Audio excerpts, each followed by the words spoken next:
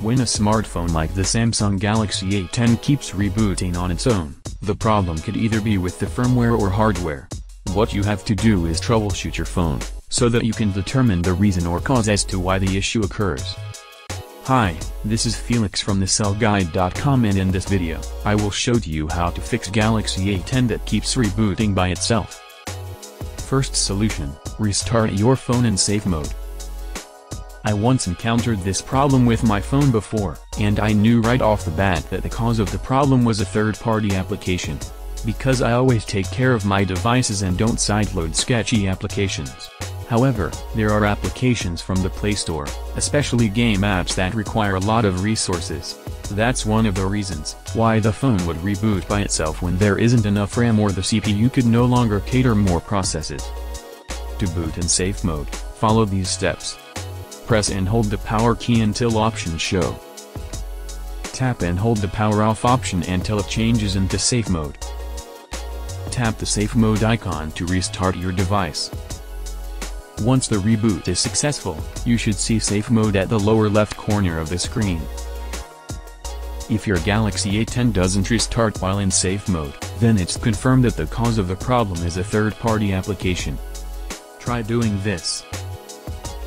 Restart your phone normal to boot into standard mode. Remember the apps you installed about the time when the phone started to keep rebooting. Once you already have an app in mind, try doing this. Tap and hold the unsuspected app and tap uninstall.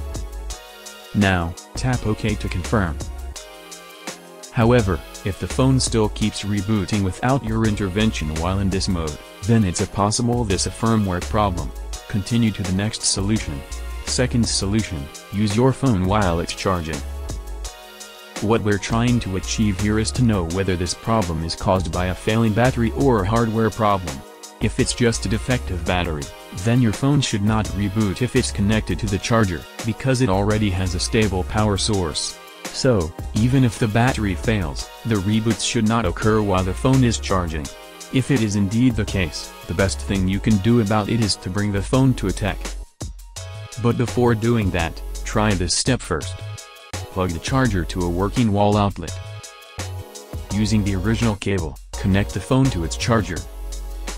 However, if the phone still reboots even if it's connected to the charger, then the problem could just be with the firmware.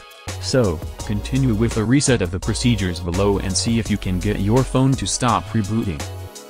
Third solution, factory reset your phone. That's right, a factory reset is needed at this point in time. This will rule out the possibility that the random reboots are just due to a firmware issue. But before the reset, make sure to create a backup of your important files and data as they will be deleted.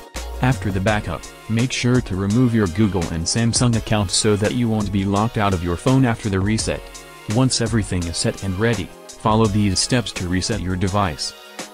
Swipe down from the top of the screen and then tap the settings icon. Find and tap General Management.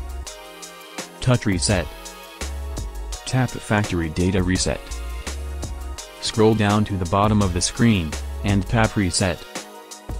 If prompted, enter your PIN, password, or pattern. Finally, tap Delete All.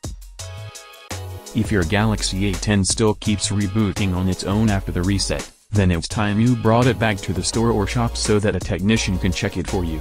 At this point, it's safe to assume that the problem could be with its battery or the firmware needs to be reflashed.